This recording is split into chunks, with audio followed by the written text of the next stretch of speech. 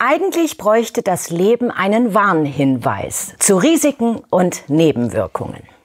Denn so sehr wir uns auch bemühen, die Dinge richtig zu machen, gehen sie leider oft auch in die Hose.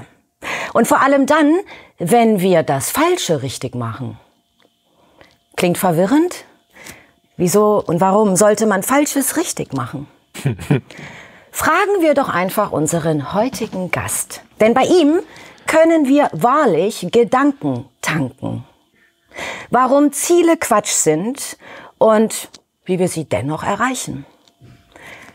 Heute im Gespräch mit dem Erfolgsautor, Coach, Unternehmer und supergeiler Typ Dr. Stefan Friedrich. Herzlich willkommen hier bei Welt im Wandel TV. Ich freue mich.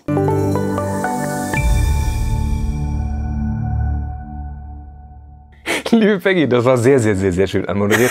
Und vor allem hast du die einleitenden Worte aus dem Vorwort hier so schön auswendig äh, rezitiert. Ich fühle mich geschmeichelt, geehrt und ich bin jetzt schon ganz geflasht. Dankeschön. Nur für dich. Ja, das ist schön. Ich habe es gelesen und es war sofort drin, weil es einleuchtend war. Geil, sehr schön, sehr schön. Du hast gelesen, hast du, du hast vorhin auch gesagt, du hättest es auch irgendwie äh, verarbeitet oder hättest in drei Tagen ganz viel damit gearbeitet. Wie, wie war das? Ähm, bist du der Moderator oder? Entschuldigung, ich mache ich mach eine Rolle. Ich, ich mach, ich, nee, aber weißt du, was cool ist? Ich beantworte die Frage, weil das ist dein neues Buch. Stefan, erstmal schön, dass du da bist. Ich habe das durchgelesen in drei Tagen und habe alle Übungen gemacht, weil ich wissen wollte, wo sie hinführen, wo sie mich hinbringen. Und es war eine sehr aufregende Erfahrung. Ähm, Deswegen meine erste Frage an dich, weil ich würde später auf mein Ergebnis kommen, ja, und vielleicht kommt ja jetzt noch ein anderes Thema hinzu, wo ich sage, ah, das hat mir noch gefehlt. Wenn Gedanken Medikamente sind, so beschreibst du es ja. Wie bist du überhaupt dazu gekommen, dass es so ist? Also äh, zunächst mal der Gedanke, warum Gedanken Medikamente sind. Also ich glaube, dass wir sowieso all das, was wir denken, irgendwie in Handlungen übersetzen. Also achte auf deine Gedanken, die werden zu Worten und zu Taten und dann irgendwann mal zu Handlungen und Gewohnheiten und dann Schicksal und so weiter und so fort. Und, und der Gedanke kam mir eigentlich damals schon in, in einer Zeit, wo ich noch als Arzt in der Psychiatrie gearbeitet habe. Also Psychiatrie, Psychotherapie, so wenn Menschen kommen und ein Problem haben, dann grübeln die über irgendwas rum und dann kann man manchmal so einen kleinen Rahmen verändern und einen Knoten lösen und plötzlich ist das Problem weg. Ne? Und ich finde das total spannend, weil das ist das, was ich seit 20 Jahren hauptberuflich mache, also als Coach, als Lehrer, als Trainer, äh, sozusagen in Gedanken reinzugehen und die so zu sortieren, äh, dass es irgendwie klappt hinterher. Ja? Knoten lösen, ein paar Anleitungen geben. Und ähm, daher kommt dieser Gedanke, weil ich habe schon so viel Komisches erlebt, da haben Menschen Depressionen und du führst ein intensives Gespräch und nach einer kurzen Zeit ist die Depression weg oder sie rauchen seit Jahrzehnten, schleimen, rotzen, husten, leiden und du machst ein Seminar mit ihnen und danach sagen, ja, verstanden und kein Schmacht, gar nichts oder du hast einen Liebeskummer und das ist gar, und dann gibst du so ein paar Rahmen und so ein paar Orientierungen und plötzlich denkst du, ja krass, bumm, Gefühl weg. Oder, oder, oder anders. Ne? Also geht's häufig ums Verändern von einem inneren Status durch eine innere Klarheit. Und äh, das ist das Hobby und das ist äh, der Sinn des Buches. Okay, das Buch heißt Warum Ziele Quatsch sind. Dann steigen wir doch da mal ein, du als Erfolgscoach, als Psychotherapeut, als ähm, Gründer von Gedankentanken. Greater heute? Heute, genau. Ja. Und äh, viele kennen dich und ähm, ich glaube, die schätzen dich auch dafür, dass du so multitaskingfähig bist, dass du so offen bist und die Dinge zusammenbringst, zusammenführst. Jetzt hast du das in diesem Buch, was Ziele angeht, so richtig nochmal aufgebröselt. Und eigentlich, wenn ich den Titel lese, ist es so, geil. Ziele sind nämlich für mich zum Beispiel mega anstrengend. Ja. War das für dich auch so? Hast du irgendwann gemerkt, dass Ziele Schwachsinn sind für dich selbst? Ist total ambivalent, weil auf der einen Seite bin ich ein sehr zielstrebiger Typ. Wenn ich was will, dann will ich's und dann geht's so geradeaus. Aber wenn du Dinge zu sehr willst und du ein bisschen so die Übersicht im Gelände verlierst, verrennst du dich halt häufig und verlierst auch dann dadurch oft Energie. Ja, also wir haben den Plan und die Tabelle und das Meeting und das und das, während dein innerer Impuls ganz häufig sagt, Moment, aber eigentlich fühle ich mich gerade eher so, dass ich das machen sollte, anstatt dieses. Und ähm, also ich habe mir mein Leben mehr oder minder darum aufbauen müssen, weil es irgendwie anders nicht mehr energetisch ging. Ich muss so viel Freiheit wie möglich machen, haben und dann aber auch immer den jeweiligen Impulsen folgen, so gut es geht. Und dann bin ich unterm Strich sehr, sehr produktiv. Also das war mein Grundgedanke äh, oder das, was ich dabei mache. Ähm, aber wie bin ich auf das Thema gekommen?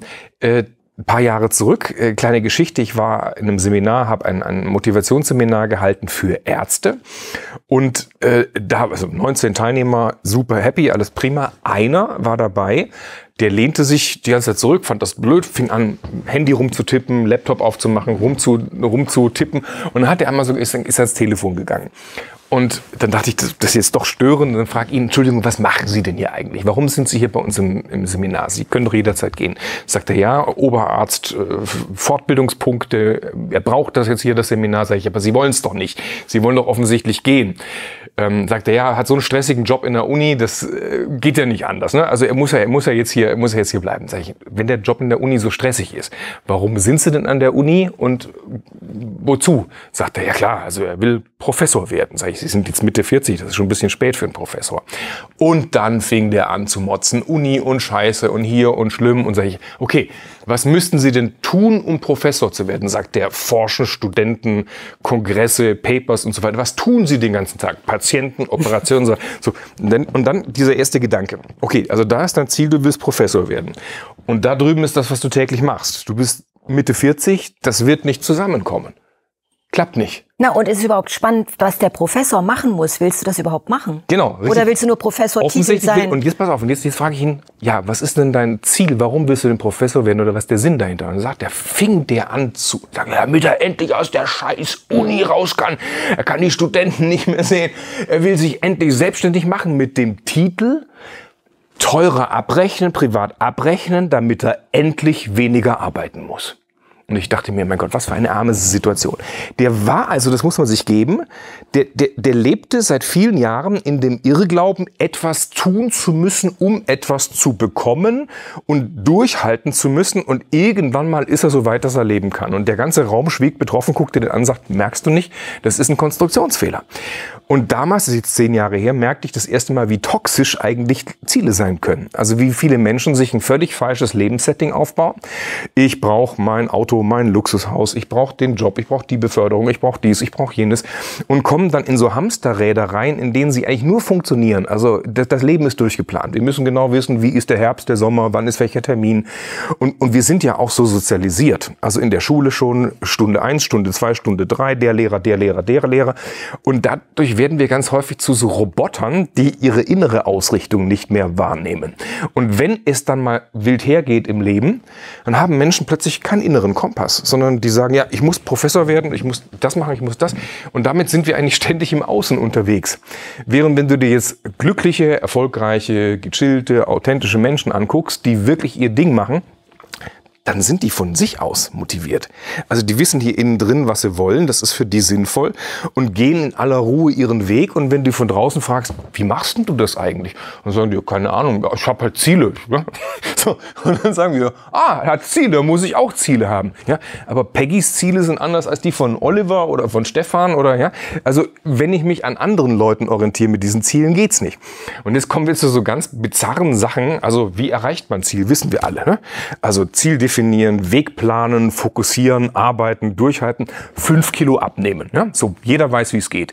Weniger fressen, weniger saufen, äh, bisschen mehr Grünzeug, bisschen Bis Bewegung. dann und dann. So, bis dann und dann muss ich meinen Bikini-Körper haben oder sowas. So, und jetzt geht was ganz Verrücktes los. Du, du, du versuchst dich zu verändern, um das Ziel zu erreichen. Also keine Pizza, Pizza ruft, iss mich, sagst nee, ja. Kuchen sagt, iss mich, nein, ne. So, kein Alkohol, oh, ein Glas Wein wäre fein, aber irgendwie wir halten durch. Minus ein Kilo, minus zwei, minus drei. Kindern würden wir manchmal eher Eis klauen, ne? also, ja, so. Und jetzt mal so, minus vier, minus fünf, wir haben es geschafft. Wir sind ja erfolgreich, ja. So, was passiert, sobald du minus fünf Kilo geschafft hast? Die Pizza ruft immer noch, iss mich. Aber weil wir es geschafft haben, sagen wir, okay, alles klar. Einmal ist keinmal. Ne? Aber nicht dauerhaft. Aber aus einmal wird mehrmals. Und aus minus fünf werden plus fünf oder plus sechs, Jojo-Effekt. so, das heißt, wir haben unser Ziel verfehlt. Aber weil es eigentlich, lass mich den hm. Gedanken, hm. weil eigentlich ging es um was anderes. Wir müssen uns eigentlich die Frage stellen, was für ein Mensch wollen wir werden? Idealerweise einer, der es nicht mag, wenn der Gürtel spannt oder der aufhört zu essen, wenn er satt ist, ja, und der sich trotzdem mal was gönnen kann und jemand, der sich bewegt und ohne dafür eine Fitness-App zu brauchen, weil er merkt, dass Sport gut tut. So. Wenn wir zu so einem Menschen werden, dann stimmt das Gewicht aber von selbst. So jetzt, warum, also Weg ist das Ziel, ne? Warum werden wir nicht zu so einem Menschen? Oder warum äh, essen wir trotzdem? So, jetzt pass auf. Essen erfüllt ja auch andere Funktionen. Das schmeckt ja. Oder das tröstet. Oder das lenkt ab. Aber warum musste getröstet werden? Wovon abgelenkt werden? Ja? Oder was steckt denn hinter dem Wunsch, dass du fünf Kilo abnimmst? Und jetzt wird's interessant. Viele sagen zum Beispiel, ja, ich möchte schlank sein. Warum bist du schlank sein? Ja, ich will attraktiv sein. Fühlst du dich nicht attraktiv? Du bist doch schlank, du siehst doch super aus. Ja, so, und jetzt sind wir beim Selbstwertthema. Oder wir sind beim Thema, ich fühle mich einsam, bin verlassen worden. Oder ich kann durch das Essen irgendwas kontrollieren. Ich kenne Menschen, die, die, die, die müssen immer alles kontrollieren. Die, die wiegen ab, die zählen Kalorien. Ja, was wenn nicht? Oh, dann geht. So. Und jetzt sind wir bei Bedürfnissen dahinter. Und in dem Moment ist das Ziel nur noch im Weg. Das Ziel ist nur noch eine Krücke für irgendwas anderes. Und, und, und so geht's bei ganz vielen Bereichen im Leben. Menschen versuchen mit Zielen etwas zu instrumentalisieren, was ihnen im Innen fehlt. Und die glauben, dass sie das durch diese Zieldefinitionen da draußen erreichen. Umsatzzahlen, Einkommen, Body Mass Index, Schulnoten, Gehaltsstufen oder sowas. Aber wenn du fragst, warum machst du den ganzen Scheiß? Ja? Warum rennst du von morgens bis abends? Dann wissen viele gar nicht warum. Und dann kommt eine Krise, ein Corona, ein Krieg, ein was weiß ich und die Leute, oh, mein ganzes System bricht zusammen, während sie einfach nur implodieren und glauben immer mit dem nächsten Ziel was erreicht zu haben, aber dabei geht es nie ums Ziel. Es geht um diese Reise unterwegs, die du gehst. Und deswegen ein Modell, drei Kompassnadeln. Das eine ist ein Sinn, das andere ist ein Weg und das andere ist das Ziel. Und wenn diese drei Kompassnadeln übereinander stehen, dann ist alles gut. Wenn die aber in verschiedene Richtungen gehen, dann wird's blöd, weil du dann ständig, also willst Professor werden, machst aber nichts dafür und eigentlich willst du gar nicht Professor werden, sondern weniger arbeiten. Dann wird's kompliziert. Sorry, ich ähm, habe schon wieder monologisiert. Äh, du hast äh, vorhin gesagt, ich, ich soll, ich soll. Nee, die Frage, ja, die Frage hat sich schon erübrigt. Die hast du mir schon gegeben, aber mir kommt gerade eine neue. Ne? Mhm, mhm. ähm, äh, ich würde gerne, ich weiß nicht, ob das okay ist, wenn ich noch mal kurz zurückspule zum Verständnis für meins. Also das heißt, Menschen, die sich Ziele setzen, sind äh, nicht nur in der positiven Ausrichtung, wo sie hinwollen, sondern eigentlich setzen sie sich Ziele, weil sie Schmerzvermeidungsprogramme fahren. Also ich will das nicht haben, also muss es was anderes her und das ist dann mein Ziel. Aber in Wirklichkeit ist es, was sie nicht mehr wollen, als Grundlage und das geht schief. Also wenn, genau, wenn es ein Schmerzvermeidungsprogramm ist, wenn es eine innere Flucht ist, wenn es irgendeine Art Krücke ist, dann geht's schief. Oder also Alibi. Dann, dann, oder, oder ein mhm. Alibi, dann wirst du es dann wirst du es nie erreichen, dann geht es nicht darum. Andererseits aber gibt's auch eine bisschen weniger pathologische Betrachtungsweise. Naja, du kennst dich halt noch nicht richtig und läufst halt in die falsche Richtung. Ja? Oder du hast dich noch nicht mit den Themen beschäftigt, wofür du quasi auf der Welt bist oder was ist deine Lebensaufgabe, was ja? Oder, oder du tust irgendwas, was deiner Persönlichkeit widerspricht. Bist ein Angenommen, bist ein extravertierter Typ und musst irgendwo still am Schreibtisch in der Buchhaltung arbeiten, weil man das halt so macht. Weil dann gehst du jeden Tag in die Arbeit und findest es scheiße. Oder andersrum, du bist ein introvertierter, vielleicht sensibler Mensch und sagst, okay, ich will Karriere machen. Jetzt habe ich aber eine Führungsaufgabe. Und jetzt muss ich auf einmal Ansagen machen oder auch mal harte Entscheidungen fällen. Und das tut mir weh. Also kriege ich einen Burnout, weil, ich, weil meine Energien irgendwo fehlen. Und dann sage ich, okay, mein nächstes Ziel ist, ich muss es bis zum nächsten Urlaub schaffen oder bis, ja. Und das funktioniert nicht. Also in dem Falle wieder so, lerne dich kennen, welche Persönlichkeit hast du, welche Energiespender, was tut dir gut, was tut dir nicht gut, gibt es irgendwelche inneren Knoten, Wunden, Süchte, wovor du wegläufst, ja. Bist du überhaupt im richtigen Spielfeld, ja? Spielst mit einem Ball und willst ein Tor schießen, ist wichtig, ob du Handball spielst oder Fußball. Zwei völlig unterschiedliche Regeln, unterschiedliche Spiele.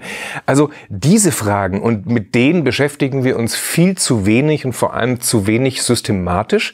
Und dann kommen Menschen ganz häufig in Lebenskrisen, falscher Partner, falsche Stadt, falscher Job und glauben, wieso, ich habe alles richtig gemacht. Und dann wieder die zurück zu, zu dem, was du, ja, du hast alles richtig gemacht, aber leider das Falsche. Das Falsche. Mhm. Jetzt haben wir es. Da mhm. ist der Schlüssel. Du hast alles richtig gemacht, nur leider das Falsche. Mhm. Und dann sitzt man mit 40 sich da und fängt an, mit Bewusstseinsthemen sich zu beschäftigen, Welt im Wandel zu gucken genau. und, äh, äh, und zu sagen, pff, Warum bin ich hier? Mhm. Du nanntest gerade die drei Kompassnadeln. Mhm. Das ist im Grunde da, wo wir jetzt ansetzen, wenn wir nach, also nach einer Lösung suchen für unser Lebensthema. Also wofür sind wir gemacht? Mhm. Das ist doch die Frage, oder? Wofür bin ich da? Genau. So wie ich bin. Genau. Ich, ich würde sogar noch weitergehen. Ich würde sagen, nicht wofür gemacht, sondern wofür sind wir gemeint? Also ich glaube, dass wir, dass wir durchaus alle für etwas gemeint sind. Ich glaube, es gibt sowas, wo, also wenn wir sind jetzt hier in einem, nennen wir es mal spirituellen Umfeld, ja, äh, wenn man sich diesem Gedanken mal auch, auch spirituell nähert, dann könnte man sagen, okay, du bist eine was weiß ich, die einen sagen, du bist halt ein bisschen Psychologie, die anderen sagen, du bist eine Seele oder ist ganz egal, wie du es betrachtest. Aber ist der Gedanke nicht schön, dass man sagt, okay, du bist ja für irgendwas gut? Also wo, wo, wofür ist deine Zusammensetzung von Persönlichkeiten, Seelenanteilen, wie immer du es nennen magst, wofür ist die genau so? Und, und, und, und lohnt, würde sich das nicht lohnen, das herauszufinden? Weil wenn du das findest, dann hast du einen Sinn, dann kennst du deine Stärken, kannst was nutzen, empfindest dich als wirkungsvoll bei dem, was du tust. Das kennen wir ja auch, wenn Menschen was machen, wo, wo sie gut drin sind. Boah, Energie und Laune und Stimmung und alles. Super. Ja, und dann gehen sie wieder in ihren Job und sagen, scheiße, hier muss ich mich verbiegen. Also ist vielleicht der Job falsch, weil du irgendein anderes Programm im Kopf drauf hast, drauf gespielt bekommen hast, was dich von deinem eigenen inneren Programm entfernt. Weil dein, dein, also hier, dein, dein Herz weiß ja eigentlich, ob du was willst, ob du was nicht willst, oder ob du sagst Augen zu und durch, was muss, das muss, und jetzt mm, mm, passe ich mich da halt an und ich bin innerlich am Kämpfen. Und, und dabei ist das falsch. Also ja, Ziele und dabei ist das falsch erst wenn wir diese, diese, diese innere Ausrichtung so fein wie möglich justieren, und das können wir ja entlang des Weges, dann passiert was anderes. Wenn du dieser inneren Ausrichtung folgst, dann kann ja eigentlich jeder Tag, jeder Moment, jede Erfahrung was Bereicherndes sein. Weil du dich der Welt schenkst. Du schenkst der Welt das Wertvollste, was du hast. Und das bist du in genau der Zusammenstellung, die, die, die du halt hast. Und, und, dann, und dann nutzt du dein Potenzial und du bringst dann auch Menschen Nutzen. Also ich, glaube eh, dass wir alle auf der Welt sind, um irgendwie das Beste aus uns zu machen, nicht für uns selbst, sondern irgendwie für uns alle. Also wenn man sich mal dieses Modell anschaut, warum sind Menschen unterschiedlich, ist das super, dass die unterschiedlich sind. Jetzt lass uns mal miteinander spielen und dieses ganze Spiel für alle besser machen. Das geht aber nur, wenn jeder von sich aus das Beste gibt. Und wenn wir das, oder das das Beste schenkt. Und wenn, wenn wir das mal als Modell sehen, dann, dann kann das Leben ein einziger Flow sein. Ja, dann kann das Leben ein einziges Fest sein, ein einziges Glück. Und, und, und, und ich kenne halt Menschen, die so leben. Ich versuche auch immer möglichst, wenn es irgendwie geht, mich an diesen Prinzipien zu orientieren und merke, man kommt gut voran, man hat Erfolge und so weiter, aber das ist halt außerhalb dieser vielen Konventionen, die man eigentlich so machen muss. Ja? Ähm, also das ist ein sehr individuelles Lebenskonzept, aber ich finde, das ist ein gutes. Du hast das Wort Konvention gerade verwendet. Konvention, viel zu enge kognitive Strukturen. Also es gibt ja ganz viele, die auch gerne was ändern wollen und äh, eigentlich auch irgendwie eine Vorstellung haben, wo ihre Stärken und Talente liegen. Aber sie sind, äh, sie kommen nicht in die Pötte so, ne? So, also es klingt ja alles ganz gut, aber diese engen Strukturen lassen sie nicht sich bewegen und sie empfinden Ohnmacht und Langeweile. Also je enger die Strukturen sind und je festgefahrener. Ne? Äh, wie fange ich denn überhaupt mit ganz kleinen Schritten an, um überhaupt erstmal hier Bewegungen reinzukriegen? Tagebuch schreiben oder joggen gehen, Hund Also für mich zum Beispiel das Stichwort Tagebuch schreiben. Ich empfinde mich zum Beispiel als, als Regisseur des eigenen Lebens. Ne? Und ich habe vor, vor 20 Jahren, über 20 Jahren in, in, in einer fetten Krise bemerkt, okay, Stefan, es tut dir gut, wenn du mal guckst, was du so denkst und was du so tust jeden Tag, also begann ich Tagebuch zu schreiben und merkte, okay, Nanu, also wenn ich aufschreibe, was ich tue und dann zwei Wochen später, drei Wochen, vier Wochen, da hat sich das Leben ja weiterentwickelt. Ich habe neue Leute kennengelernt, neue Gespräche, neue Gedanken so.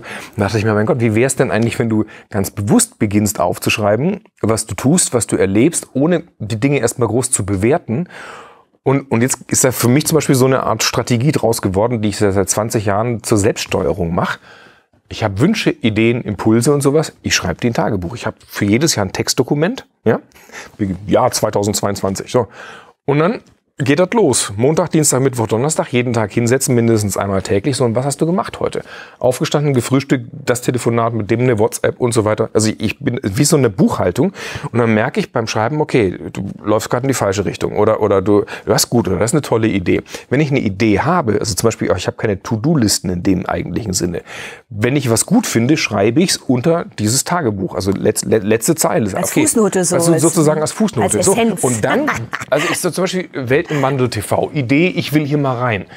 Ich, Idee, und ein Tagebuch reinschreiben. So, jetzt muss ich dieses steht Welt im Wandel. Ne? Jetzt muss ich das irgendwo ins Leben übersetzen. Das heißt, ich muss was tun, damit das da auch wirklich im Text drin steht. Dass das nicht nur so eine blöde Idee ist, sondern okay, hä, ich rufe Oliver an oder ich, ja, also, weißt du, so und erst wenn ich diesen, diese Idee in eine Handlung umsetze, dann wird was draus. Und jetzt wird was draus. Jetzt sind wir hier real. Also wir schaffen die Realität nicht, indem wir nur denken oder wünschen oder träumen oder im inneren Om sind. Das ist zwar schön, um sich auszurichten, aber du musst als nächstes schon gucken, was tue ich denn jetzt draus? Und da scheitern leider sehr mhm. viele Menschen und ich finde das auch ja, selber in der Persönlichkeitsentwicklungsszene. Es bringt nicht so viel zu wissen, wer du bist, wenn du nichts draus machst, wer du bist. Also wir müssen schon gucken, dass wir in die Pötte kommen und das können können kleine Schritte sein. Das können kleine Veränderungen sein. Wenn du sagst, Menschen sind festgefahren, na dann hör halt mal auf, festgefahren zu sein. Bestell mal eine andere Pizza beim Italiener. Geh mal einen anderen Weg in die Arbeit. Ähm, geh mal an einen anderen Urlaubsort. Also wir, wir können diese, diese mentale Flexibilität schon trainieren. Unser Problem ist, das Gehirn ist, ist, so, ist so, eine, so eine sich selbst verfestigende Denkmaschine. Also wir haben Routinen aufgebaut und die, die, die rufen wir immer wieder ab. Und dann haben wir eine Vorhersage für die Welt da draußen. Wir wissen, was passieren wird, weil wir machen es immer schon so. Und dann hört das Leben auf, spannend zu sein. Also das Blitzen in den Augen verschwindet. Wir werden jetzt lasch. Und das ist spätestens der Moment, wo man merken muss, okay, irgendwas schüttelt uns durch. Also entweder ist eine Krise von außen, die kommt meistens dann, wenn irgendwas doof läuft, aber muss ja nicht sein, kann man ja auch von innen machen. Warum lassen wir uns dann so oft ablenken? In dem Moment, wo was klar ist und wir loslegen, kommen dann so diese inneren Richter, Skeptiker, die, dann die Nachbarin, die Mutter, ja, wer auch immer dann so als Themenfeld reinkommt. Ja nichts die inneren Wächter, ne? Das ist, das ist, also da gibt es so viele, die, die inneren Wächter, das fand ich ja? toll. Ja, aber warum erscheinen die genau da, wo es drauf ankommt? Weil genau an der Stelle meistens dahinter irgendein Schmerz liegt. Also wenn du, also okay, ich mache mich jetzt selbstständig. Oh Gott, aber du hast gesehen, bei deinem Vater ist es schiefgegangen und ihr habt jeden Pfennig um. Ich werde jetzt, ich gehe jetzt tindern oh Scheiße, das letzte Mal ist so in die, nee, ich bin halt Single, Puh, ja, so, ich habe mal eine schöne Frau angesprochen, Korb gekriegt, oh, bist halt kein Frauentyp. Also, weißt du so, und das ist, und jetzt kommt da der innere, ja, komm, Flirten, Tindern, äh, Selbstständigkeit, Bullshit, weil eigentlich hat das die Aufgabe, dich, dich, dich vor Schmerzen zu bewahren. Insofern ist dieser innere Wächter eigentlich eine, eine Art Anteil in sich, den man annehmen, wertschätzen sollte, sagen, okay, alright, ich weiß, das kennen wir doch alle. Wenn da, wo, wo ganz große Ängste sind, sind häufig auch ganz große Wünsche. Ja, das sind ganz, oh, ich, ich würde, äh, nein, oh Gott, wenn, wenn das schief geht. Aber äh, manchmal muss man halt durch sowas durch. Und da darf man sagen, okay, alright, ich, ich weiß, ich habe gerade eine scheiß Angst oder, ich, aber eigentlich fühlt sich's voll richtig an. Wir sollen Dinge ja nicht machen, weil sie klappen, weil wir wissen, dass sie klappen, sondern weil wir wissen, dass es die richtigen Dinge sind. Eine Garantie gibt's niemals. Also steht die Sinnfindung als erstes. Also der Weg, das Ziel, wie man immer so schön sagt. Ähm, wenn ich den Sinn verstehe, sind das meine Werte, sind das meine inneren Dinge, die mir wichtig sind? Was ist denn Sinn Also was ich, was ich, was, was ich versucht habe, Sinn? was ich versucht habe in diesem Buch ähm, wirklich systematisch zu machen, das ist auch der, der, der, der dickste Teil des Buches. Das ist erstens, äh, das ist Teil zwei, finde dich selbst. Ja? Also erstens verstehe, dass du so eine Art Avatar in einer Matrix bist. Ja, ne? das fand ich am allergeilsten, das Wort. Da habe ich mich gleich besser gefühlt. Der Avatar, also das, was du gerade um dich herum machst, hast du in irgendeiner Form erschaffen oder zumindest für dich kreiert, indem du gesagt hast, ich komme jetzt ins Studio. Du hast gesagt, mit dem Stefan rede ich. Ja? So. Und du gehst jeden Tag ins Büro und hast die Nasen um dich herum, die schaffst du selbst, weil du dich dazu entschieden hast, die zu schaffen. Kannst dir andere Nasen schaffen, geht, ja. So. Zweiter Gedanke ist, ähm, was für eine Persönlichkeit bist du? Ne? Also ich gebe Ihnen ein relativ simples Modell, äh, wo man sich aber ganz gut orientieren kann. Das ist mit den Farben. Bisschen gelber Typ. Rot, grün, blau, gelb, ja. Ich bin äh, gelb. Das Kannst weiß ich. Nicht rot, gelb. ähm, äh, äh, hab sofort geschnallt, was ich bin. Das fand ich echt mal toll, weil bei manchen äh, Büchern die, ich finde ja so Coaching-Bücher geil, weil wenn man sich da wirklich mal ransetzt und drin ist und dran arbeitet, nur bei vielen ist es so, das ist mir dann zu schwierig, zu komplex, dann gebe ich auf, weil mir das einfach zu kompliziert ist oft. Bei dir war es sofort klar, was ich bin, weil du es schon voraus so beschrieben hast, dass ich mich wiedererkannt habe. Genau. Und dann weiß die Peggy zum Beispiel, wenn sie ein gelber Typ ist, ist initiativ, macht gerne neue Sache, kommuniziert gerne mit anderen, die, die muss immer beschäftigt sein, da muss Action sein. So. Also wenn, wenn die Peggy jetzt sagen so, okay, du kriegst jetzt einen sicheren Job, du bist jetzt in einem großen Medienunternehmen angestellt und du hast äh, am Tag 1, 2, 3, 4, 5 in der Woche so und so viele Interviewtermine mit Leuten, die dich nicht interessieren. Da gehst du emotional kaputt. W- Du wirst, du wirst eingehen. Ja, aber ich will doch in die Medien. Nee, nee, mach das mal lieber hier, das passt besser. Also es ist schon versimplifiziert, ne, diese Ja. Typen, aber die sind, die, da fängst du erst mal an, überhaupt bewusst hinzuschauen. Genau. Und dann wird dir was klar schon mal. Und dann ist es ja ein kleines, man muss ein kleines Workout machen, wie ein bin, Training. Ich bin, ich bin ein rot-gelber Typ. So, ja. Hm, hab ich schon- So, ja. weißt du, ich, ich will irgendwo, ich will irgendwo hin. So, jetzt stell dir vor, ich habe als Ja, du Arzt. bist Feuer. Mhm. Ich, ich, ich, ich, ich habe als Arzt gearbeitet. So, da, da hast du einen Chef und einen anderen Chef und hast große Meetings und hast Strukturen. So, ja, da werde ich wahnsinnig. aber junge Menschen, und ich glaube, viele haben dich geliebt als Arzt, oder? Ich weiß es nicht, weil ich habe sie dann nicht mehr geliebt. Ich wollte keine, ich wollte kein Krankenhaus mehr sehen. Ich, also, nee, ich, liebe immer noch Menschen, aber viele geht mir einfach total auf die Nerven. Weißt du, du bist jemand, der sagt, oh, Ablenkung, geil, super, ja, hey, als Gelber. Ich bin Roter, ich sag, Leute, geht mir nicht auf den Sack. Ich will doch dahin, geh aus dem Weg, ja, verstehst du? Da musste, da musste, das musste erstmal, musste erstmal verstehen über dich. Und dann sagt die Familie, du sei nicht immer so ruppig. Wieso bin ich ruppig? Ich bin nicht ruppig. Ich möchte da hinlaufen. Wenn du jetzt sagst, okay, ich bin ruppig, ich, mm, hallo, hm, ja, da verbiegst du dich und dann fühlst du dich scheiße. Ja, und es gibt auch Menschen, die natürlich dann denken, ähm, da habe ich jetzt auch einige wiedererkannt, dank dir, ähm, die dann sich selbstständig machen wollen, beim Arbeitsamt abmelden und jetzt wirklich springen und in dem Moment, wo sie es tun, total zusammenbrechen, weil sie eigentlich Verwalter sind vom Typ. Du, ich hab, ich Und hab- Strukturen brauchen. Ich habe Leute kennengelernt, wir haben, wir haben ja auch Franchise-Nehmer und so. Ich habe in den letzten Jahren einige Unternehmen aufgebaut und du merkst, wenn Menschen, was weiß ich, 25 Jahre in solchen Strukturen arbeiten, es ist total wurscht, wie viel Budgetverantwortung, wie viele Mitarbeiter die führen und sowas. Wenn es heißt, du, jetzt geh mal da raus auf die Wiese, bau mal selber was auf, brechen viele zusammen. Was, wenn es nicht klappt? Oh mein Gott. Also ich habe Leute erlebt, die über Kredite äh, bei, also als- als Banker über Kredite von Gründern entscheiden und so, ja, Großkotz und dann einmal einen Kredit selber aufnehmen sollen und psychisch völlig kollabieren. Weil sie halt die Struktur der Bank brauchen, damit sie sich sicher fühlen. Während der selbstständige oder unternehmerische Typ sagt, Leute, Bank gehe ich ein, gehe ich kaputt, lass mich mal mein Ding machen, wird schon funktionieren. So, also jetzt nochmal zu dem Buch. Wenn du es nicht weißt, was du bist oder im falschen Spielfeld bist, weil du das falsche Ziel hast, wird's richtig übel. Ja? Und jetzt ein anderer äh, Gedanke, das ist das nächste Kapitel, da geht's dann darum, wirklich, was gibt dir Energie? Also, was macht dich glücklich? Wo, wo fühlst du dich gut, wo fühlst du dich nicht gut? Und auch das ist, das, das klingt manchmal so simpel, es ist aber so. Spür doch in dich rein. Mache ich das? Spiele ich das? Geht's mir gut? Also sollte ich's machen. Ein Kind sagt nicht, ich spiele nur von 9 bis 17 Uhr, darüber hinaus gibt's ein Burnout-Syndrom. Das Kind spielt, worauf es Bock hat. So, spiel doch du auch, worauf du Lust hast. Eine Überlegung aus dem Buch zum Beispiel, da ge- gehen wir nochmal genauer drauf ein. Angenommen, es gäbe lauter Klone von dir. Ach, das war das Allergeilste. Das war das Allergeilste in. Wir haben zwei Bücher. Wir haben sie geklont für euch, weil da hat es bei mir richtig geklingelt. Also es gab ein paar Aha-Effekte. Willst du es erzählen? Darf ich? Ja, bitte, bitte, bitte. Also, äh, welche Dinge, nehmen wir mal an, ich hätte jetzt zehn Klone, was würde ich delegieren an die Klone und was Also- würde ich auf keinen Fall delegieren? Also, genau, zehn Klone von Peggy. Also, Ja. ja. also das ist wichtig. Angenommen, es gäbe die Peggy zehnmal im Schrank oder im Gartenhaus. Und die kann genau das Gleiche machen, was die Peggy macht. Also einkaufen würde ich nicht mehr. Buchhaltung würde ich auch nicht mehr machen. Was würdest du einem Klon delegieren? Was würdest du selber machen? Weißt du, ich schreibe gern. So, so viele Leute sagen mir, bist du bescheuert, dauert zu viel Zeit, kostet zu viel Zeit, verrückt. Ich würde niemals das Schreiben aus der Hand geben. Weil das für mich ein meditativer Prozess ist, den ich liebe. So, ich, ich bin total lebendig beim Schreiben.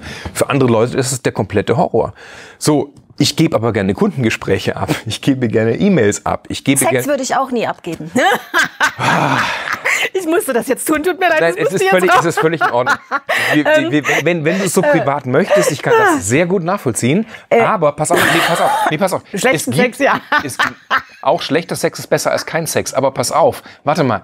Peggy, wir lassen es aber drin, da bin ich rausgeschnitten. Peggy, Peggy, es gibt Menschen, die sind asexuell. Und wenn Menschen asexuell Was- sind. was heißt asexuell? Also, dass die, dass die einen geringen sexuellen Trieb haben oder keinen sexuellen Das habe ich auch immer, wenn ich den falschen Partner habe. das falsche Ziel meinst du, das falsche Ziel hast du. Ja, du- Und, und, dann, und, dann, und dann ist es auch völlig okay, wenn du sagst, okay, ich will mit dem gerade oder mit der gerade keinen Sex haben oder ich will gerade keinen Sex haben. Weißt du? So, und auch dann wiederum ist die Frage, ja gut, dann delegiere ich den Sex halt an einen Klon. Und, Und guck zu, Aber dann komme ich in die nächste Ebene, dann kapiere ich das. Dann komme ich wirklich in die Bewusstheit.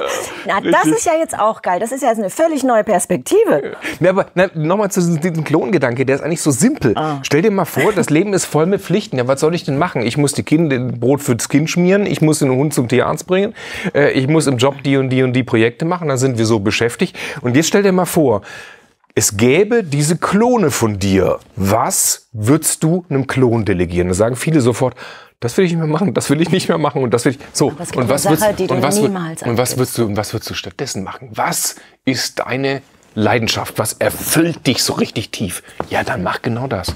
So, und dann sagen viele, was? Ja, aber das machen halt glückliche Menschen. Oder Menschen, die bei sich sind oder die diesen inneren Kompass richtig justiert haben, die gehen halt so durchs Leben. Aber dafür muss man mal Nein sagen oder mal Kon Konventionen brechen oder mal Dinge anders machen als andere. So. Okay, dann apropos Konvention brechen. Wenn wir schon beim psychischen, psychischen Zusammenbruch sind, gehen wir doch zu den Psychodelics. Psychedel was- Psychodelics? Bevor wir das- wie nennt man, äh, Psychedelika, man das Psychedelika, aus? Das ist nämlich auch ein Kapitel und da müssen wir noch hin, bevor wir das verpassen. Nee, dann, lass mich da kurz Mhm. hängen, weil, weil der nächste Gedanke ist, wenn du Dinge tust, damit es dir gut geht, dann stellt sich häufig die Frage, warum tust du Dinge nicht, obwohl sie dir gut tun. Und dann sind wir wieder bei diesen Schattenseiten. Also was Mhm, es haben gibt wir? ja Gäste, die du nicht los wirst. Genau, Gäste, die wir nicht, eine Depression, eine, ein Trauma, Eine ein, eine Sucht, ein, ein, so ganz vieles, wo du merkst, oh Mist, ja, ähm, das beschäftigt mich.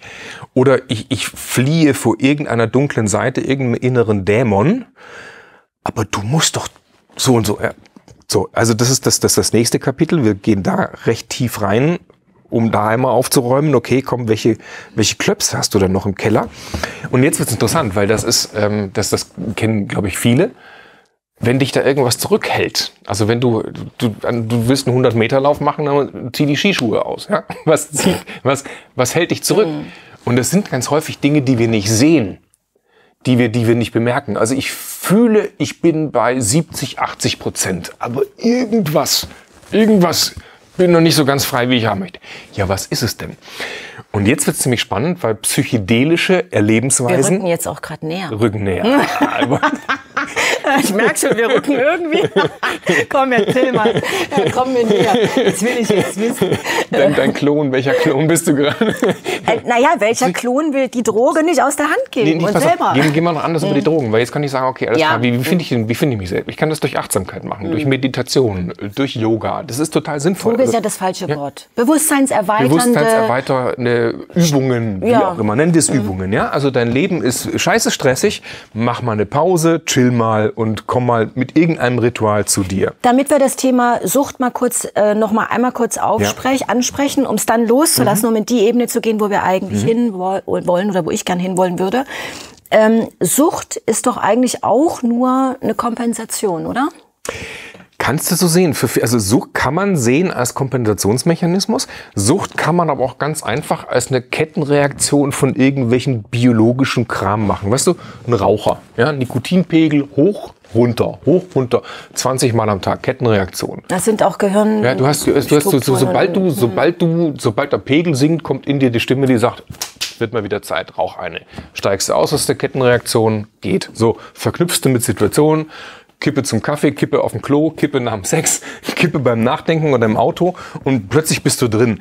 Da bringt es nichts, Menschen zu sagen, oh, du kompensierst irgendwas. sondern du bist halt im Suchtmechanismus. Aber sie fühlen sich trotzdem, ist ja irgendwie ein Ausgleich, sind ja auch in der Harmonie dadurch oder glauben, dass sie in der Harmonie sind. Aber ja, sie sind aber eigentlich in der Dysbalance, weil sie halt ständig diesem Ding hinterherlaufen. Also genau. Süchte sollten wir auch loslassen. Da haben wir auch eine Anleitung im Buch. Ich mache ein ganz einfaches Beispiel. Putzt du dir regelmäßig die Zähne? Ja. Ist gut? Fühlt sich gut an? Ja. Ist auch eine Sucht, ja. Also streng genommen auf der Verhaltensebene, was ich mehrmals mache oder wiederhole, wo der Körper sagt, wird Zeit, guck mal wieder Haare waschen, mal wieder, ja, mal es wieder gibt, Nägel schneiden, ist auch so eine Art. Äh, du hast diesen tollen Satz, der war auch klasse. Ähm, wir sind nicht äh, süchtig, süchtig, wir sind nicht wir schwach, weil wir süchtig sind. Wir sind nee, wir sind nee. nicht wir sind nicht süchtig, weil wir schwach sind, sind sondern wir sind schwach, weil wir, weil süchtig, süchtig sind. sind. Ja.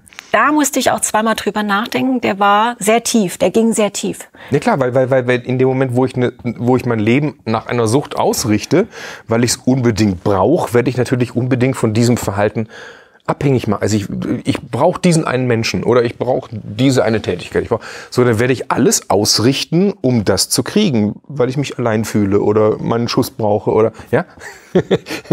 so, und dann fühle ich mich schwach. Aber das kennen wir doch alle. Wenn wir mal was loslassen, was uns die ganze Zeit tierisch beschäftigt, denken wir, oh mein Gott, was habe ich denn da für einen Scheiß gemacht? Oh, jetzt, Huah, ist es gut. Und das heißt, du bist keine schwache Persönlichkeit. Das ist auch bei, bei vielen Suchtthemen äh, oder, oder in, in Suchttherapien, wie ich finde, ein völlig falscher Ansatz, Menschen einzureden, dass sie eine Störung hätten oder irgendwie komisch wären. Nee, sie haben ein Verhalten, was ihnen schadet für eine gewisse Zeit. Lass das Verhalten los. Die Seele dahinter, der Mensch, die, du bist intakt, du bist gesund. Das ist eine andere innere Haltung. Und dann sagen Menschen, was? Oh, ich, ich bin gar, ich habe gar keine Macke. Nee, hast keine Macke. Bist halt gerade auf einem interessanten Erfahrungsweg. Trip. Lass das mal los, mhm. geh, mal, geh mal zurück. Aber wenn wir schon auf dem Trip sind, ähm, lass das mal los. Ähm, es gibt ja auch, also ich würde es jetzt gerne mal so nochmal da, daran appellieren, dass du ja Arzt bist. Mhm und dich schon recht früh mit sehr vielen Dingen beschäftigt hast, sie erforscht hast, nicht nur an dir. Also du bist jemand, der viel sammelt, auch an sich selbst ausprobiert, aber eben auch ähm, ja, es gibt ein Themenfelder, wo du sagst, nö, da gucken wir jetzt mal hin. Und Psychedelics ist ein Thema in dem Buch und auch, wie diese Forschung jetzt sich neu entwickelt, weil ja viele, und das wissen gerade im Bewusstseinsbereich viele Menschen, die jetzt Ayahuasca nehmen, Pilze, ja, was es alles gibt, um eben in bestimmte und schneller in, in Zustände zu kommen, wo sie was über sich erkennen.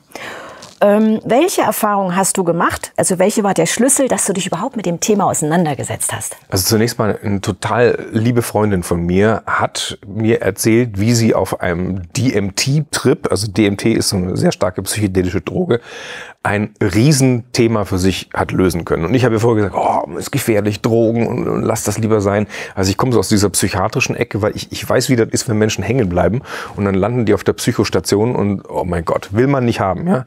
Also ich hatte mal eine sehr, sehr interessante Nacht in einer internistischen Notaufnahme mit einer Gruppe von fünf Jugendlichen, die auf Pilzen unterwegs waren. Oh. Junge, Junge, das war lustig. Also in Anführungszeichen. So, deswegen habe ich eigentlich erstmal gedacht, ah, Drogen und sowas, Finger weg.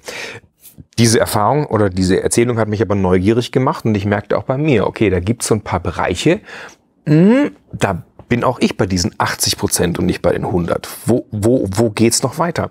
Und dann fing ich an zu recherchieren und merkte zum Beispiel in Online-Berichten, wie Leute über MDMA, das ist die Substanz von, von Ecstasy oder über Psilocybin, dass die von richtig neuen Erkenntnissen über sich selber berichten und von unheimlich äh, tiefen Erweiterungen und LSD und so weiter oder Ayahuasca. Meine Ex-Frau kam einmal zu mir und sagte, hey, ich war auf dem Ayahuasca-Trip übrigens, ich habe jetzt unsere Beziehung verarbeitet. Ich dachte, was hast du gemacht? Okay. In zwei Tagen. Alright. Aber, mit dann Kotzen. Wir, aber dann mit so einer, mit so einer oh Liebe, Gott, so, und weißt du, und das ist einfach oh, alles gut. Toll. Und ich, okay, alright. Also scheint cool. ihr, ja, mhm. cool, ja. Und also habe gelernt, es ist offensichtlich für die, die es richtig machen, im richtigen Set und Setting nicht abhängigkeitserzeugend. Mhm. Die machen das nicht immer wieder. Und es ist nicht so wie bei Crack oder Kokain, dass du dich pushen willst oder bei Heroin, dass du dich wegknallst, sondern dass es offensichtlich irgendwas Gutes machen kann. Und dann merkte ich durchs Recherchieren, dass es offensichtlich eine, eine, eine völlig unterschätzte Gruppe von Substanzen ist, die seit einem halben Jahrhundert politisch nicht gewollt sind. Die Geschichte geht, also wir hatten schon in den 50er, 60er Jahren des letzten Jahrhunderts hatten wir Psychedelika-Forschung. Gibt's immer noch diese Forschung oder wieder fängt sie an, die sagt, dass man damit Depressionen heilen kann, Süchte loswerden kann, Zwangserkrankungen, also dass man sehr viel innere Ausrichtung betreibt. Und das konnte ich alles nicht glauben. Also ich, weil ich bin Mediziner, ich habe Menschen Antidepressiva verschrieben oder Antipsychotika und es soll da eine rote so, Pille kommen? Die es kommt eine rote Pille oder weißt du, Psychotherapie, oh ganz schwierig, brauchst du viele, Gut, viele Monate. Hm. Und, jetzt, und jetzt passiert was Interessantes. Ich merkte, okay, ich will das jetzt selber machen und bin mal auf so eine Reise gegangen, bin verreist, habe mir einen Coach gesucht und bin mit dem auf eine MDMA-Reise. Und das war ein wunderbares Setting, sehr schön strukturiert, sehr liebevoll, sehr vorbereitet, mit dem Wunsch, Stefan, du willst dich jetzt die wunden Knotensüchte, du willst dich jetzt den Themen stellen, von denen du vermutest, dass da irgendwas noch dahinter ist, was du noch nicht siehst. Und jetzt war das total krass. Es waren wunderschöne Stunden. Ich erlebte den zweitschönsten Tag meines Lebens nach der Geburt meines Sohnes äh, und, und merkte, krass, das Gehirn funktioniert völlig anders. Das muss ich auch kurz erklären. Also ich habe vorhin gesagt, Gehirn als so eine selbstverfestigende Maschine. Ja, wir müssen Vorhersagen treffen. Hier ist ein Glas, da ist der Ausgang und so. Können wir jetzt blind zu Hause, wir wissen, wo die Kaffeetasse steht. Und das Gehirn will dann nicht mehr drüber nachdenken. Bis so 35, Alter von 35, ist das Gehirn sehr, sehr plastisch. Viele haben danach dann ihr Lebenssetting gefunden und verändern nicht mehr was groß. Und dann sind wir starr. Wir sind aber auch starr in unseren Annahmen über die Welt. Das ist eine Wank, das ist ein Fernseher, das ist die Peggy. So, pass auf. Und jetzt nimmst du plötzlich Psychedelika und Dinge können sich völlig anders verbinden. Also du siehst, boah, der Fernseher ist so, wie wenn das plastisch 3D. Die Wand gibt's ja gar nicht. Und äh, das bewegt sich hier. Und die Peggy ist eine Seele, mit der ich mich verbunden fühle. Die Peggy ist. Und jetzt passieren die verrücktesten Dinge. Mhm. Du, du, also jetzt zurück zu diesem MDMA-Trip. MDMA ist kein Psychedelikum im, inneren, im engeren Sinne. Das kann ich mal anders nochmal erklären. Steht im Buch. Steht im Steht Buch. Im Buch. Steht eigentlich Buch. So. Aber ich merkte auf einmal, dass was total Verrücktes passiert. Ich bin mit diesem Wunsch rein, so, okay, das Thema guckst du an, das, das, das und mein Gehirn, wie wenn da so ein innerer Reparateur wäre, so ein innerer Mechaniker, so ein innerer Heiler. Okay, da ist das und das passiert, dann da, der und der hat das und das gemacht, so und so erlebt, so und so, so. Und da, da, da bin ich in, in Themen rein, da, oh, krass, oh, andere Perspektive, Knoten gelöst, Haken, oh geil. Nächster Knoten gelöst, Haken, oh geil. Nächstes Thema, nächstes Thema. Und vor allem, was auch krass war, diese ganzen Empfindungen dabei. Oh, da habe ich mich aufgeregt. Oh, sauer. Oh, das war geil. Weißt du, so plötzlich, der, der Körper, bei mir war das so, übernimmt auf einmal Funktionen, dass du Emotionen nochmal neu oder nacherlebst. Und danach passiert genau das wie bei Kindern. Das Kind ist traurig und weint. Und danach ist gut. Das Kind ist sauer, kriegt einen Wutanfall. Danach ist gut. so. Und jetzt ist es, das ist ein zutiefst heidender, sehr, sehr schneller Prozess. Und ich bin aus diesem Tag raus und dachte, alter Schwede, du hast gerade das Gefühl gehabt, innerhalb von wenigen Stunden fünf Jahre Psychotherapie zu machen, auf dem innersten, authentischsten Level was machen denn diese ganzen Psychotherapeuten und Psychiater dann die ganze Zeit? Was machst du denn die ganze Zeit mit deinem Coaching und deinen komplizierten Modellen und Rot, Grün, Blau, Gelb und finde deine Klone und sowas? Das geht doch viel einfacher. Nimm die Menschen auf so eine Reise mit, in einem richtigen Umfeld und Machst du so eine geführten Reisen? Mache ich, mache ich. Und, und, und, und die merken, legal, alles legal, alles legal. Und die merken auf einmal, ja, das ist mein Thema. Knoten gelöst, innere Richtung, Kompass ausgerichtet, zack, gib ihm. So. So einfach ist es. Und das ist etwas, was mich seitdem total fasziniert. Und wir haben, und wir haben eine, pass auf, Peggy, wir haben mittlerweile, warum lassen Ich habe gerade eine Vision. Ähm, Wenn Menschen Visionen haben, bei welchem Mann muss man immer aufpassen. Stell dir mal vor, wir machen eine Sendung, ähm, also was wir da alles so wahrnehmen. Ja, oh ja, oh, das wäre das wär toll. Das wäre mal eine oh, ja. Comedy. Nee, das, das, das wäre, das wär, Comedy wäre das auch, aber das wäre richtig, das wäre richtig geil. Du, ich habe das auch gemacht. Also ich habe auch während Reisen mein Handy mitlaufen lassen, Videomodus. Und dann hast du da Wie so lange dauert denn so eine Reise? Je nachdem, was du nimmst. Das können viele Stunden sein, ja. Und dann siehst gibt's du. Gibt's auch welche, die nicht zurückkommen? Die gibt's. Die, er nicht zurückkommen ist falsch. Da, pass auf. Also, das muss ich differenzieren. Es gibt Menschen, die Flashbacks haben hinterher oder hängen bleiben oder diese Erfahrung als traumatisch empfinden. Also ich muss warnen an der Stelle davor, wenn du nicht richtig darauf vorbereitet bist, dass du plötzlich angenommen, du bist, du bist der Mensch, der ganz viel Struktur braucht für deine Sicherheit. Absolute Kontrollverlust. Angenommen, du bist, Mhm. du bist jemand, der, der, aber ich bin doch jetzt Anwalt oder ich bin doch jetzt Mutter oder ich, also wenn Du darfst ich, das nicht. Du Mhm. darfst das nicht. So, je, je stärker du dich über diese Rollen definierst, desto überraschter bist du natürlich, wenn Was du so, ein, so, eine, so einen Tritt machst und dann merkst du auf einmal, ich bin Ärztin, ich habe die Dinge im Griff. Ja, Moment, was? Wenn du sie plötzlich nicht im, ja, ich habe am Tag so und so viele Patienten, ich bin erfolgreich. Was, was, wenn dir dieses Steuer mal kurz weggerissen wird? Du siehst plötzlich, Schleier lüften sich, neue Schichten der Realität kommen dazu und dann bist du vielleicht nur ein kleiner Junge oder ein kleines Mädchen und bist, spielst halt Spiel, willst halt groß sein und das machst du jetzt seit 40 Jahren. Oh, was für eine Verletzung steckt denn dahinter? Hm, komm, guck da mal hin. Aber ähm, was ich jetzt sehr spannend finde, du hast einmal kurz erwähnt, auch Fluchen. Vorsicht, ich muss noch sagen, so. das, das, klingt, jetzt- das klingt jetzt gerade ein bisschen, oh, was steckt denn da? Das klingt jetzt ein bisschen, bisschen despektierlich. Nee, nee, nee, das Sondern- haben wir schon verstanden. Es, es, ist lieb, es ist liebevoll gemeint. Und dann merkst du auf einmal, Wah- Wahnsinn. Oder aber, was, was ist die Welt? Guck mal, ihr seid hier, ihr seid hier mit so vielen sehr unterschiedlichen Menschen im, im Gespräch. Gibt es Engel? Gibt es keine Engel? Keine Ahnung. Wer will mir das denn sagen? Gibt es, gibt es, eine, eine, gibt es Seelen? Gibt es eine Welt hinter der Welt? Gibt es Gott? Gibt es keinen Gott?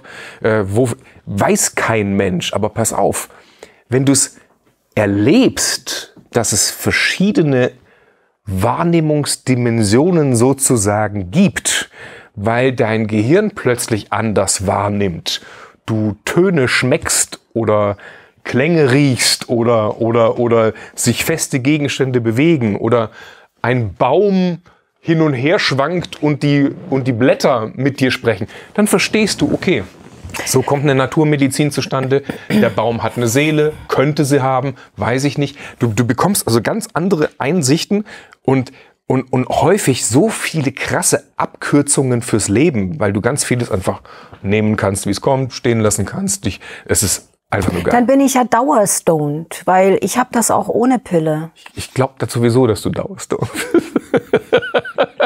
Ja, weil ich habe oft diese Wahrnehmungen, die dann auch wirklich in solche Grenzbereiche gehen. Also wo alles sich auflöst beim Joggen hatte ich das schon. Da war ich der Ast, der Vogel und ich konnte fühlen, wie der sich ab. Ich war alles. Also ich hatte schon solche Erfahrungen ohne irgendwas das, zu das, nehmen. ist wunder, das ist wunderbar und das ist auch etwas. und das ist eigentlich dasselbe. Das ist eigentlich, äh, im Prinzip ist das dasselbe und das ist auch total wünschenswert, dass man, weißt du, dafür muss man aber joggen, mal in den Wald gehen und die Fresse halten und den Ast wahrnehmen, anstatt zu sagen, okay, im nächsten Meeting muss ich noch das und die Kinder und hier habe ich noch ein Scheidungsding an. Na, ich hatte, ich bin über Laub gelaufen, das weiß ich noch ganz genau. Und auf einmal gucke ich auf meine Hände, da war wie ein gelber Film, so richtige Strahlen Mhm. kamen raus und die Blätter funkelten. Die waren wie nicht 3D, Mhm. die waren irgendwie, ich kann das nicht erklären. Die, das war ein Raum, wie Diamanten, auf denen ich lief. Und plötzlich dachte ich, Moment, und ich weiß nicht, wie lange das gedauert hat. Und da war ich drin. Vielleicht nur drei Sekunden oder eine Minute, fühlte sich an wie ewig. Und jetzt, Und stell dir, toll. und jetzt stell dir vor, du kannst das durch deine Wahrnehmung bewusst steuern. Mhm. Und wir machen unser Leben lang nichts anderes. Weißt du, wir sind gerade in Bewegung. Wenn ich jetzt sage, Peggy, pass mal auf, du sitzt jetzt schon seit einer Dreiviertelstunde im Gespräch mit mir auf Mhm. deinem Popo. Spür mal, wie der Sessel gegen den Sitzknochen drückt. Das merke ich die ganze Zeit. Mein. Bein ist Ja, eingeschlafen, so, weil ich die so, Sitzschuhe anhabe. Jetzt stell, jetzt, stell dir mal vor, wie du da, wie das Blut rausgeht, wie du den, wie du einen Dekubitus am Arsch entwickelst und so. Verstehst du? So, und das machen Menschen die ganze Zeit. Wir, das, was wir, was wir beachten, das machen wir groß. Und jetzt stell dir mal vor, du kannst da draußen sowas wie Glück und Zufriedenheit und innere Mitte und so weiter be bekommen, indem du Dinge beachtest, die du beachten willst und solltest. Und das kannst du jetzt 20 Jahre lang mit Meditation üben.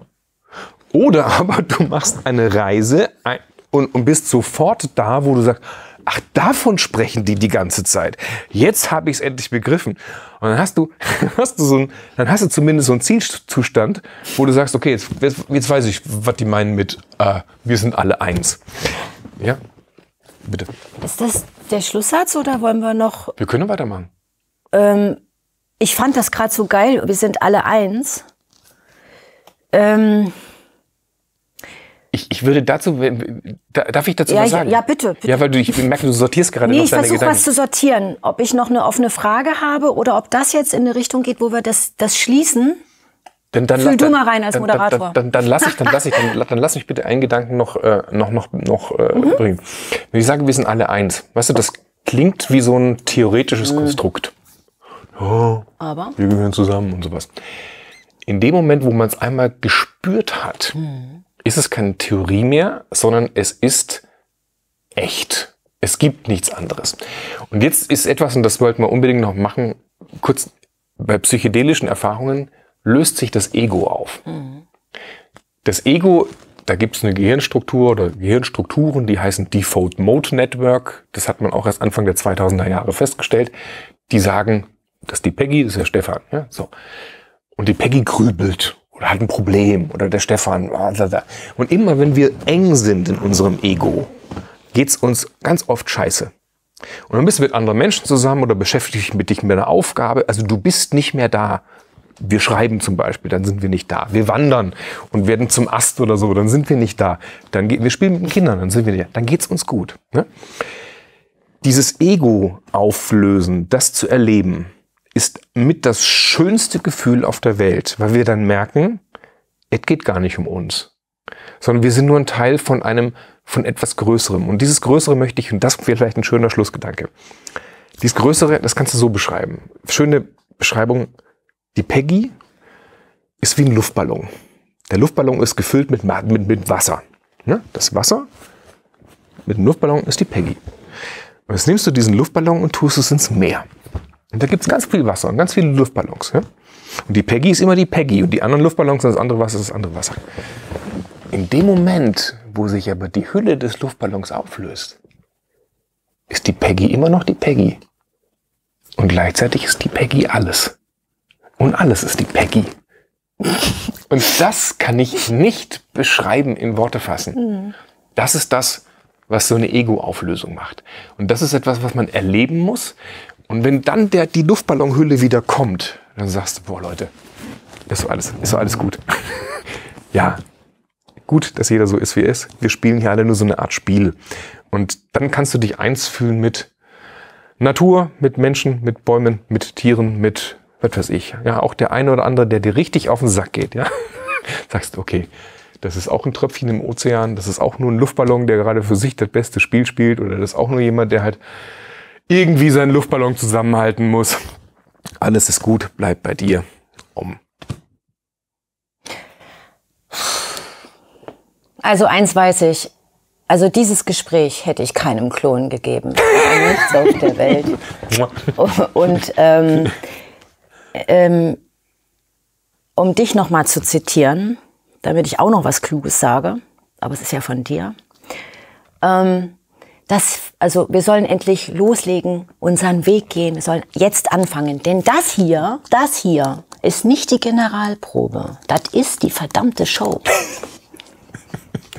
Welt im Wandel. Danke fürs Zuschauen. Und ähm, ja, bis zum nächsten Mal. Sehen wir uns vielleicht auch in Würzburg auf dem Kongress in diesem Jahr. Wird geil. Dankeschön. Zwei Bücher, doppelt hält besser. Richtig. Gibt's auch als Hörbuch. Tschüss.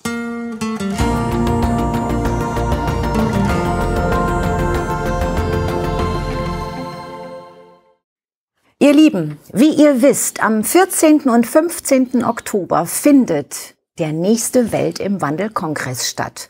Und einer unserer Gäste sitzt gerade neben mir. Und wir hatten ein wunderschönes Interview, wo wir die Rollen getauscht haben. Und äh, wo wir wirklich mehr als im Flow waren. Und diese Energie möchten wir euch jetzt schon mal schicken, damit ihr euch berufen fühlt, zu kommen. Was erwartet uns denn, Stefan? Wir werden über die Kraft der inneren Ausrichtung sprechen. Wir werden herausfinden, wie du deinen inneren Ziele-Kompass so justierst, dass du glücklich, zufrieden, erfolgreich und erfüllt durchs Leben flowst. Und wir werden über die vier Ebenen der Wahrheit sprechen. Über die Welt, über dein Ich, über die Essenz und über das Universum. Und wo Worte enden, sind nur noch Gefühle. Und ihr dürft euch freuen, denn es sind noch einige tolle, spannende Gäste mit dabei. Tschüss und bis dahin. Alles Liebe.